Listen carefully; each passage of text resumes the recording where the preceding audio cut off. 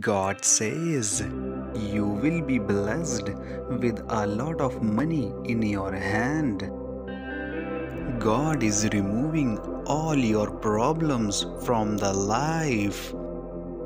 New doors of success will get open now. God has a plan for you. Type yes if you trust in God.